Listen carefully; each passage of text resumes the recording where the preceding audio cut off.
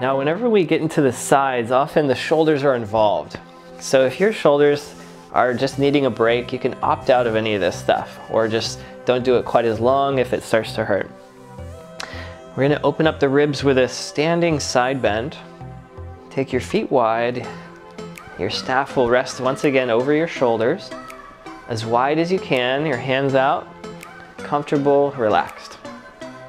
This is like a, like a triangle light, a triangle mini version. So turn your, uh, let's do left foot in, right foot out, hips squared with your shoulders and just a very light side bend here.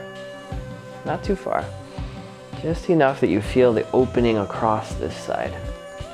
The staff will support the upper arms so that you're not straining it.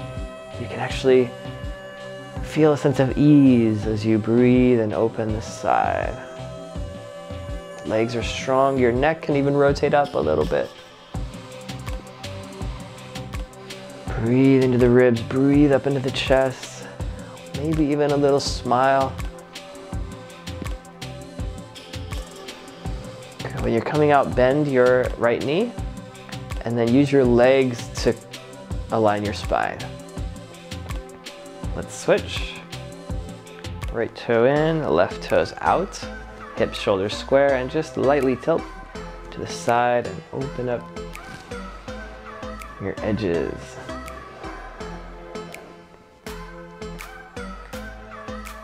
Comfortable breathing here.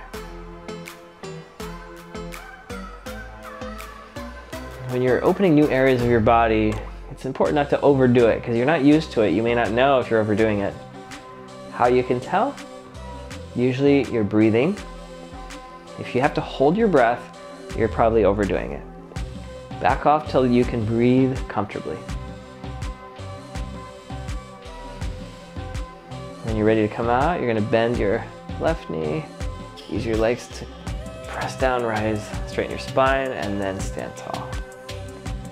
Well done. Bring your staff down, let's shrug your shoulders out.